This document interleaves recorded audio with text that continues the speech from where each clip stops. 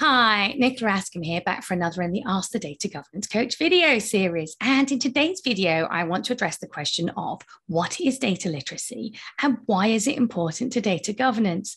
Now, data literacy and data governance are both getting a lot more focus these days, but it's very easy if you're not entirely sure what they are to understand are they different things? And, you know, if we're already doing data governance, do we need data literacy and, and maybe vice versa? So I wanted to do just one of my very short videos to address that for you and provide a little bit more clarity on the topic. So let's start first with what data literacy is. Well, basically, it's just the ability to understand what data is. So, just in the way that um, basic literacy skills are the ability to read and write. I would say that data literacy is the ability to read, write, and, and communicate with data. So it's just about being able to understand what data is and to um, read it, interpret it, and to actually document things in, in a correct way. Now, this is really important because in the modern world that we live in, data underpins almost everything we do. So we need to understand and manage our data better, both in our personal lives and in our organizations. Um, you know, and from an organizational point of view, if we're able to understand our data and value that data as an asset, we're in a much better position to manage it better. So, as I said, you know, we expect everybody to have basic skills in reading and writing.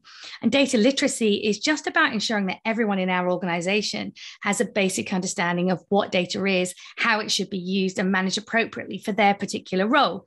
For example, if you've got a perhaps a very junior employee whose main job is data entry, then they need to understand why it's important that they capture data correctly and put it in a certain format. Whereas perhaps a more senior, sophisticated consumer of data needs to understand perhaps where their data has come from. How do they know that it's good enough for them to use? How do they know they've got the right data? So it's just some basic um, skills and understanding around data. So obviously, you know, there are whole courses around data literacy. So in, in a couple of minute video, I'm not going to have time to go into a lot more detail, but hopefully that gives you an idea of what data literacy is but it's important to the success of a data governance initiative because it's one of the things that we need to address when changing the culture of an organization so that data is viewed as an asset and managed as one.